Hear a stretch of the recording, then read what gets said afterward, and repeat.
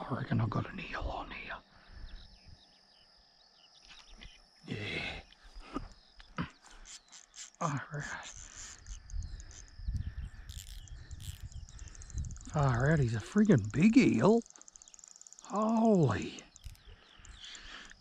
Out, this is a huge eel. Man, feels massive.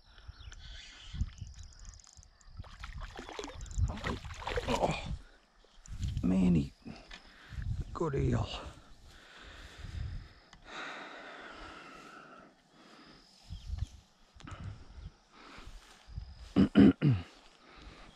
I'll take this one back with me. My mate wants some more of them. Got a couple mates that like eating them. Bet he's down the